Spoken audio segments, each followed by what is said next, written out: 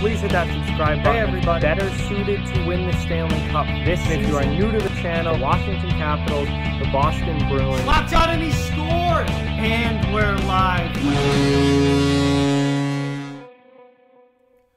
Hey everybody, so it's time for another episode of my Enforcer Hall of Fame series where I look back on the careers of some of the greatest enforcers in the history of the NHL and induct them into my Enforcers Hall of Fame, which I created because they obviously will never get into the Hockey Hall of Fame because they were there to fight, not exactly put up a lot of points. So today we are going to be putting in a player who did not spend a very long time in the league, played less than 500 games, was only in the league for seven seasons, but put up a massive number of fighting majors and a massive number of penalty minutes. And that player is Jay Miller, formerly of the Boston Bruins and LA Kings. Um, so Jay Miller was one of the Bruins' best enforcers of the late 80s and uh, went to the Kings in uh, 1989 and for the early 90s. So Jay Miller uh, did not play very long in the league, but man, did he fight. 446 career games, 40 goals, 44 assists for 84 career points, but a whopping 1,723 penalty minutes in just those 446 games. He also had a career 174 fights combined between the regular season and the playoffs. Um,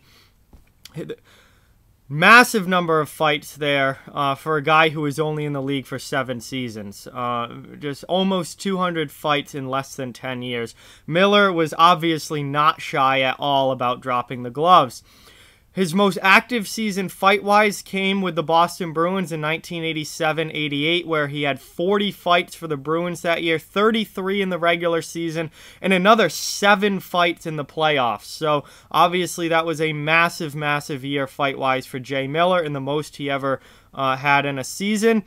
Uh, his best offensive season in the NHL came in 1990-91 with the LA Kings. He scored 20 points that year, 8 goals and 12 assists. Obviously, he was not in the uh, in the lineup to be a point scorer, to score goals or points. He was there to drop the gloves.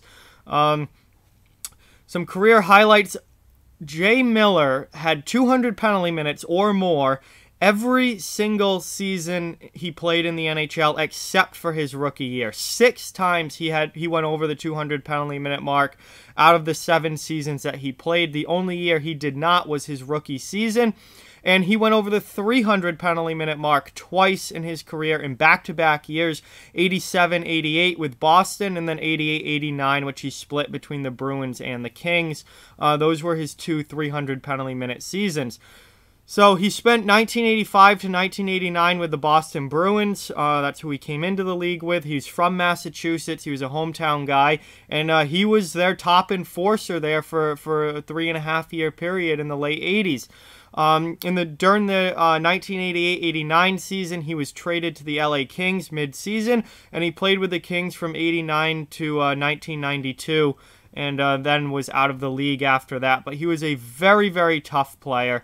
Um, took on the biggest and baddest, toughest guys around the league. Um, he was he was a top enforcer everywhere he went. Uh, obviously, not shy about dropping the gloves. To, to have 174 fights in, in only seven seasons in the NHL, and obviously some of those are playoff fights, but um, just have that drop the gloves that many times in only seven years in the NHL. I mean, most guys who play 15 years don't have 174 fights. So Miller was obviously uh, very, very active when it came to dropping the gloves, and he fought the biggest and toughest guys on on every team. 1,700 penalty minutes in, in less than 500 games. That that's about all you need to know right there about Jay Miller.